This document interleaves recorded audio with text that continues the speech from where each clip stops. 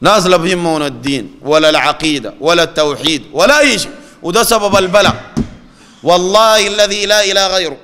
لو حكم الناس في العدل مثل عمر بن عبد العزيز رحمه الله.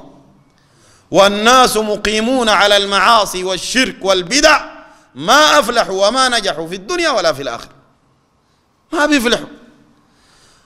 عشان كده رب العزة والجلال قال ذلك بأن الله لم يك مغيرا نعمة أنعمها على قوم حتى يغيروا ما بأنفسهم. قال تعالى إن الله لا يغير ما بقوم حتى يغيروا ما بأنفسهم. وإذا أراد الله بقوم سوءا فلا مرد له. وما لهم من دونه من وال. والمشكلة إما الناس رجعت لله ما بتتحلى. لأنه وريني الليلة زول في بلدنا دي ولا برا بلدنا. أعدل من عمر بن الخطاب رضي الله عنه. لاقاك أنت؟ حاكم كذا أعدل من عمر بن الخطاب. في الدنيا دي لاقاك؟ بعد أبي بكر الصديق رضي الله عنه. لاقاك أنت؟ ما في. بعد عام الرمادة العام الجاع فيه والناس كان في زمن عمر رضي الله عنه. لأنه الله قال ولنبلونكم. الله بيمتحنك. الله بيمتحنك سبحانه وتعالى. ولذلك الصحابة فهموا القصة. لما مرقوا للاستسقاء قال العباس رضي الله عنه اللهم لا ينزل بلاء إلا بذنب ولا يرفع إلا بتوبة. اللهم تبنا إليك فارفع عنا البلاء. فأنزل الله المطر. انتهت المشكلة.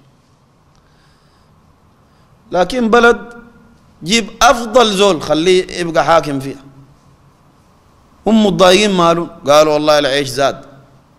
العيش بجنيه يا أمة. وحفلة لود اللمين بخمسين جنيه. وبقيفوا صفوف في العيش. والحفلة نادي الضباط بتملي.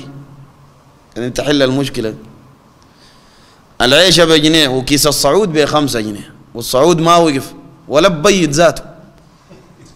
ملان. كر كر كر كر كر. لما نسووه صف ذاته. شفت صف الصعود برضه هذا برضه جابوا ديل؟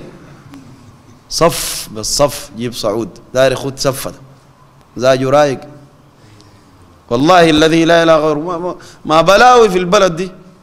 إذا كان يا أخي جباب شغالة لا على ضرائب لا زكاة لأنه الله ما بيقبلها ولا فيها كذا ولا حق عتب ولا دمغة ولا شيء. زول رابس له سروال وعراقي وخدت له كوره والنساوين يجوا يرموا في القروش. تقربوا لمنو أنتوا هو الميت داير قروش جوا. واسي كان ادوه قروش جوا الميت ده. يخدها وين الكفن فيه جيب فيه. ومشى الآخرة يوم لا ينفع مال ولا بنون إلا من أتى الله. شنو؟ بقلب سليم. يا ليتها كانت القاضية ما أغنى عني شنو؟ مالية. مالية هلك عني سلطاني. ولذلك بلاوي شغالة في البلد يا أخي. إذا كان دعاة الشرك شغالين في التلفزيون زول بيجيبوا في التلفزيون يا ناس. في النيل الأزرق وفي غيره. يقول أنا جدي الكباشي الله اداه كن فيكون. يقول للشي كن فيكون. وفي مرة ولا راجل عارض الشيخ. لما جاي المرة جات تلد مرقت منها كديسة ما زول. يعني تخيل كديسة دي كان جوا بطن الأم. جات مرقت فوق كديسة جارية ساكلا فار من بطن الأم جات. ده في التلفزيون. إذا دكتور في جامعة أم درمان الإسلامية بيدرس كلية الطب. كلية الطب. بيدرسهم تفسير. صلاح الدين بدوي الخنجر. بيقول نحن في السودان الشيوخ بدوا المطر والمطر بحسب الطلب. عجبك عجبك. ما عجبك افتح بلاغ في الشرطة. والله. قال أرضين. بينات سرابة أو تقنت. فيهطل المطر. لفظة كذا قال فيهطل المطر منها هنا ولا يهطل منها هنا. ليه؟ لأنه ذيل دفعوا البياض. مطر ذاتها بتجي محددة. مطر ذاتها بتجي محددة للناس اللي بيدفعوا البياض. مفلسين ما عندهم مطر. والله. والله سبحانه وتعالى قال فرأيتم الماء الذي تشربون؟ أأنتم؟ أنزلتموه من المزن؟ شوف القرآن ده واضح كيف. أأنتم؟ أنتم. أنزلتموه من المزن؟ أم نحن المنزلون؟ لو نشاء جعلناه أجاجا فلولا تشكرون. تشكروا منه الله سبحانه وتعالى. ينزل المطر.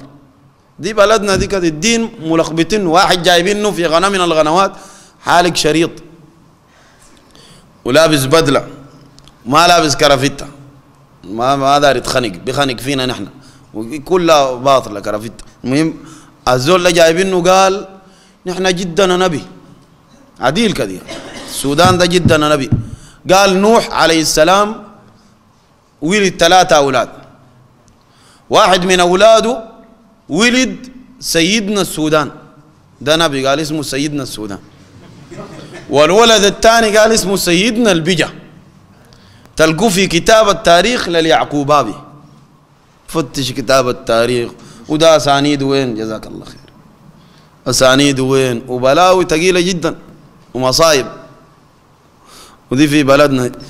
واحد في الحاج يوسف واقفة في حلقة بتاعت واحد بيرمي الناس قال بيقرأ وكذا بميكروفون بيرمي الناس.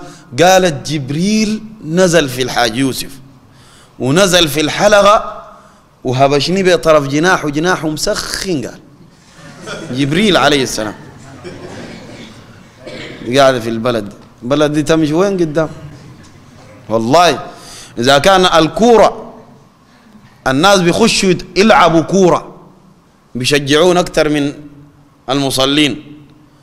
وأنت تخش المسجد تتكلم في الدين تلقى ورقة مكتوبة ممنوع الحديث. ما جامعكم ده ما شاء الله مسلك. الله يستر بعد المحاضرة. غايه اموره ماشي المساجد تلقى والله ما يكاد تدخل مسجد. ما تكاد. تدخل مسجد إلا يمنعوا الكلام. ناس دي بتفكر كيف؟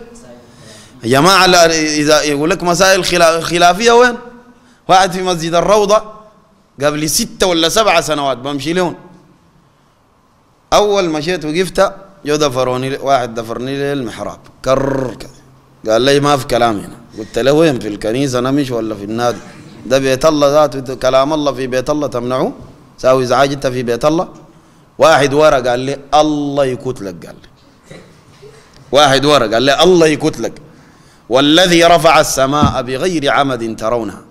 الزول ده ما عدى أيام ودوه المستشفى. جاته جلطة ودوه بعد أيام مقابله لما في عربية ما مات وقتي. الزول ده لحم وعروقه نزلت في الواطة. يتألم يتألم يتألم لما مات. جيت الجامع بعدها ادوني الميكروفون. قلت لهم الحاصل شنو دي كرامة ولا شنو؟ كرامات كيف؟ الموضوع ده كيف؟ وأنا ما دعيت كان في كرامة الله استجاب لي زول بس. دعا ودي ما ضد الدين ما كرامات القوم ديل. بعد تكلمت قعدوا ناس اللجنة قالوا الحديث في المسائل الخلافية ما بجوز هنا. ما بجوز. انت تتخيل ما بجوز ده ما حكم شرعي. ما بجوز. ما أي دليل. وما بجوز. قلت لهم خلاص أنا إن شاء الله ما بتكلم في مسائل خلافية. زول دخل الجامع بعد الصلاة لقى في توبه نجاسة دي مسألة خلافية. هل صلاته صحيحة؟ ويغسل النجاسة بس ولا يغسل النجاسة ويعيد الصلاة ثاني والراجح إنها صحيحة وما يعيد الصلاة. دي مسألة خلافية. الصلاة ذاته زول يقبض ولا يسدل مسألة خلافية لكن الصحيح إنه يقبض لأنه موافق للسنة. كذا كذا كذا خلافية. أنا مسائل خلافية ما بجيبها إن شاء الله. أتكلم لكم في مسألة ما فيها خلاف أصلا بين المسلمين. أيوه التوحيد ده. كيف؟ ودي الخلافية ذاته قال الله واحد دي خلافية يا جماعة في بلدنا دي بتمشي لقدام؟ الله واحد دي خلافية. وما لقينا ناس في الإعلام إلا من رحم الله. بيتكلموا في الموضوع ده. ما بيزوغوا منه. بل إذا تكلمت فيه بيصنفوك وينبذوك زي زمان زي بدري. إنا لنراك في ضلال مبين. قالوا لنوح عليه السلام. قالوا للرسول عليه الصلاة والسلام إن كاد ليضلنا ليضلنا. رسول بيضل؟ لا بضل في نفسه ولا بضلل غيره صلى الله عليه وسلم. والنجم إذا هوى ما ضل صاحبكم. وما غوى. إن كاد ليضلنا عن آلهتنا لولا أن صبرنا عليها. قال تعالى وسوف يعلمون حين يرون العذاب من أضل سبيلا. بعد قال أرأيت من اتخذ إلهه هواه؟ أفأنت تكون عليه وكيلا؟ أم تحسب أن أكثرهم يسمعون أو يعقلون إنهم إلا كالأنعام؟ بل هم أضل سبيلا. ولذلك يا جماعة الآن موضوع التوحيد بيحتاج مننا والله إلى وقفة وده الحل وده المخرج. ما في مخرج غيره. ناس إذا وحدت الله سبحانه وتعالى واعتمدوا على الله وحاربوا الشرك بالله سبحانه وتعالى فتح الله عليهم في الدنيا وفي الآخرة. وإذا تركوا التوحيد غضب الله عليهم. والليلة ضد التوحيد شغال في البلد. شرك شغال من أوسع أبوابه. يا أخي زول يصلي يا أخي في الصلاة يقول إياك نعبد وإياك نستعين. ويعاهد الله سبحانه وتعالى. ما بنعبد إلا أنت وما بنستعين بغيرك بغيرك. امرق برا يا عتر يا فلان الحقنا يا فلان أفزعنا. وأسي قال له في الصلاة وإياك نستعين. تجي الكربة بدل يلجأ إلى الله سبحانه وتعالى. عربية دارة تنقلب. ولا بيت مطرة نزلت دار ينزل العرج, العرج فيه.